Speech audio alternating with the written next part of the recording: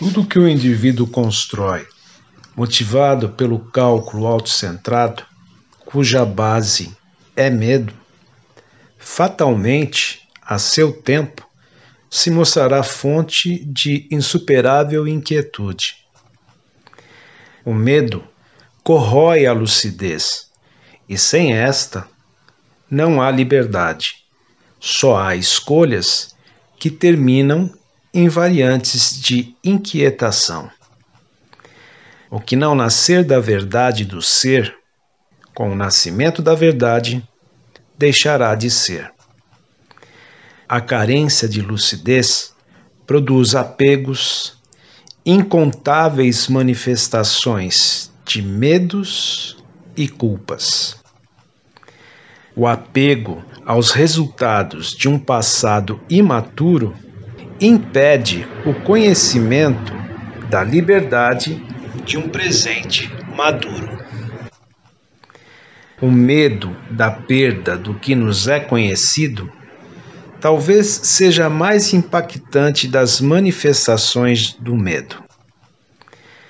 Assistir de modo silencioso e não reativo às projeções e sensações que surgem do processo de descondicionamento de circunstâncias dependentes requer enorme dose de maturidade.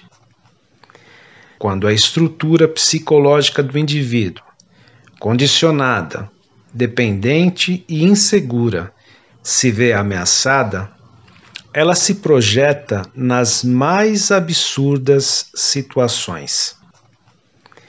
Quando se inicia no indivíduo a retirada interna de uma circunstância dependente, no processo dessa retirada, ele se torna consciente das demais dependências que ele sustenta em torno de tal circunstância dependente.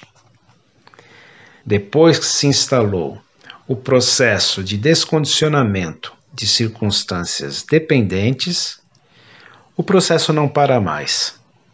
Nesse processo, a morte do que vem do autointeresse e busca de segurança é fatal, produzindo caos na estrutura, um turbilhão de dúvidas medos e projeções.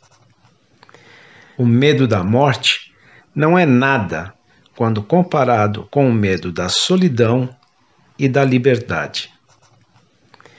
Buscar por um mestre é acrescentar mais uma dependência à estrutura psicologicamente dependente.